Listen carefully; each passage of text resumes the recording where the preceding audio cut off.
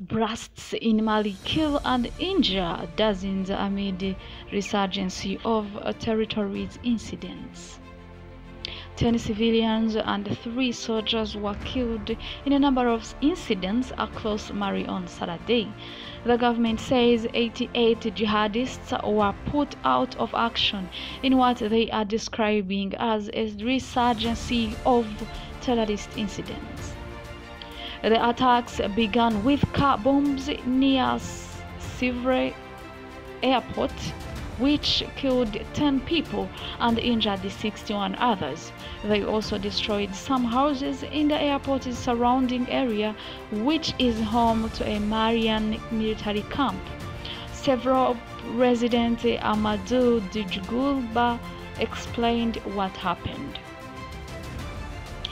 We heard noises after the player around 5:30 a.m.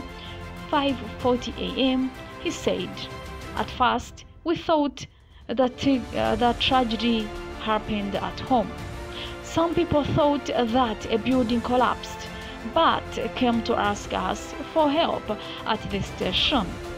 We went to the camp on to inform uh, the commander. We also alerted the civil protection. Around 6 a.m., the authorities came and together we extracted the injured and dead. It was really hard. Mali had been battling a security crisis caused by separatists fighting in the north of the country since 2012. Since 2020, the military leader has turned away from Western allies and towards Russia.